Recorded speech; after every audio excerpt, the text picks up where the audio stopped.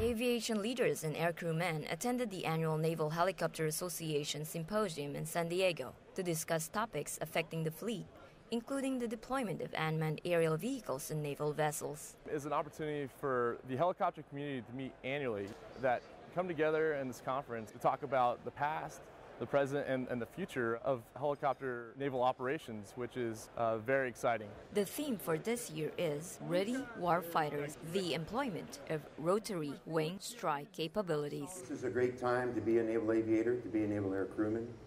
I can't think of a time in our history when the relevance of the helicopter community has, has been more prevalent than it is today. From San Diego, I'm Petty Officer Claire Farrin.